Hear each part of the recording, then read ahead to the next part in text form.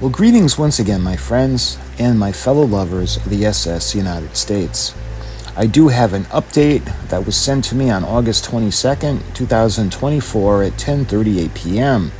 And this is from the SS United States Conservancy. And this is from ssusc.org. There are a couple of update things to talk to you guys about. The race against time for the SS United States continues to tick down, but with your help, we are continuing to do everything possible to give our nation's flagship a future where she can be experienced by future generations and preserve and celebrate her history throughout our growing cultural collections and our future museum. We are reaching out to give you an update on our various efforts. In regards to the recent court hearing Earlier this week, the Conservancy argued in U.S. District Court that the significant difficulties associated with moving the 990 foot long vessel, including an unusually active Atlantic hurricane season, made the court's September 12 deadline very challenging.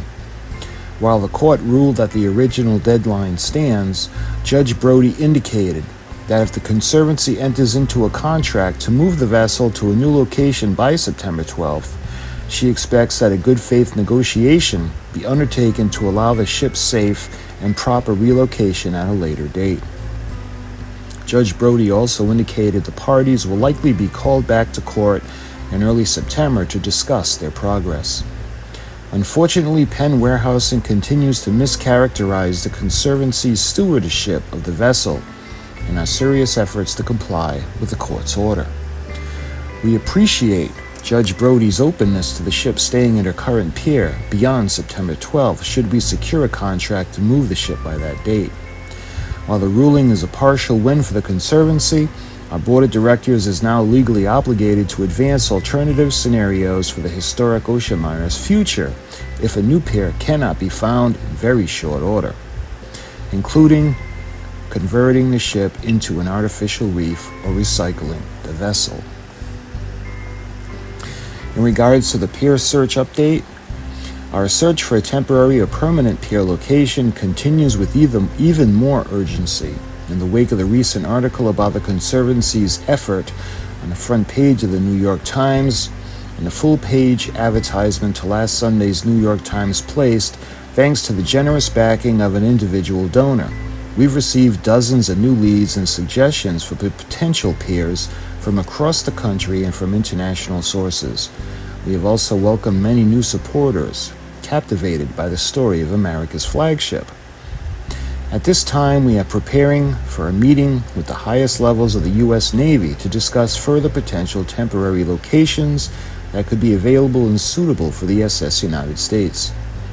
The Conservancy also continues to conduct outreach many private pier owners and also held discussions at the highest levels in South Carolina, Massachusetts, New York, New Jersey, Maryland, Virginia, Georgia, Florida, Alabama, and other coastal states.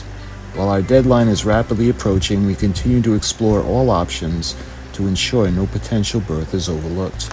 When it comes to the fundraising, the recent update is re- relocating a ship the size of the SS United States is a complex and costly venture. It requires funds for insurance, tugs, surveys, and dock preparations to ensure the ship's safe passage to a new home. Our campaign to pay for the potential move and other important expenses now has crossed the $250,000 mark. Thank you. In addition, if we succeed in securing a new berth for the ship, two anonymous donors have committed additional pledges, totaling well into six figures combination of factors give us renewed hope and energy as we continue our work to find a new location for the ship, build our cultural collection, and advance plans for a museum. So, as of right now, there are $250,000 donated so far. And in closing, their alternative scenarios are discussed the Conservancy's highest priority remains locating a safe temporary or permanent location for the ship, and ultimately her redevelopment as a dynamic stationary mixed use destination. However, given the time constraints imposed by Penn Warehouse's eviction notice and subsequent court order, The Conservancy's board of directors is now legally obligated to further advance alteration options for the SS United States, including reefing or recycling the historic ocean liner.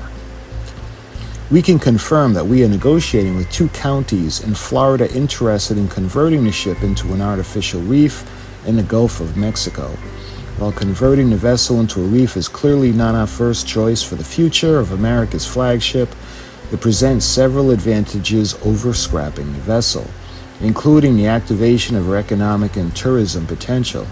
Artificial reefs also enhance marine habitat and ecosystems. These plans are Ecom Pass Conservancy's future museum that would feature our archival and cultural collections and educate the public about the ship's historical importance. We are heartened by the party's appreciation of the historic nature of America's flagship. While we continue to work hard to save the, the iconic symbol of our nation, we have very little, very little time at hand. We remain deeply grateful to you, our global communities of supporters, for your steadfast commitment to the SS United States and her enduring and inspiring legacy. So that was the update from the uh, Conservancy, and that was from August 22nd of 2024. And my friends, I hope you enjoyed this little update, and I'll sure to bring you any other updates that I hear on this magnificent ship. So until my next video, my friends, thank you so much for watching, and I'll talk to you soon.